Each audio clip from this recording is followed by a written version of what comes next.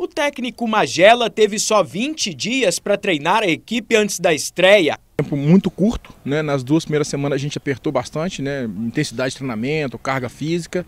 Essa última semana, até mesmo pelos jogadores estar sentindo né? É, é, dores musculares e tal, a gente deu uma aliviada um pouquinho, voltou mais os trabalhos para a parte tática, para a filosofia do jogo que a gente quer implementar. Né? E agora não tem jeito, agora chegou a hora né? e vamos para cima. Magela faz mistério, ainda não revelou o time titular e só acompanhamos a primeira parte do treino de hoje. Para os jogadores, o jeito é mostrar serviço em campo. Ele não desenhou a equipe ainda, mas se for jogar, já estou preparado para fazer uma boa estreia. A URT fez três amistosos durante a preparação para a Série D, venceu todos os adversários com resultados surpreendentes: 7 a 0, 4 a 0 e 5 a 0. Depois disso tudo, era para estar pelo menos sobrando confiança por aqui, mas o técnico Magela prefere manter os pés no chão. A nossa defesa não foi exigida nesses amistosos, né?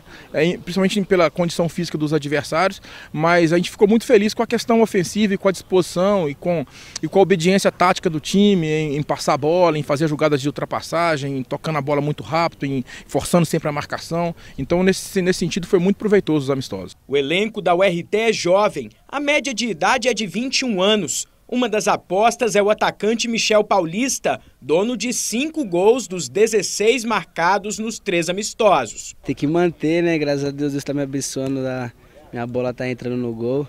Mas, igual eu falei para os meninos, o que vale mesmo é domingo aos três pontos. Tá ajudando a equipe de qualquer forma, sempre na marcação, fazendo gol, não fazendo.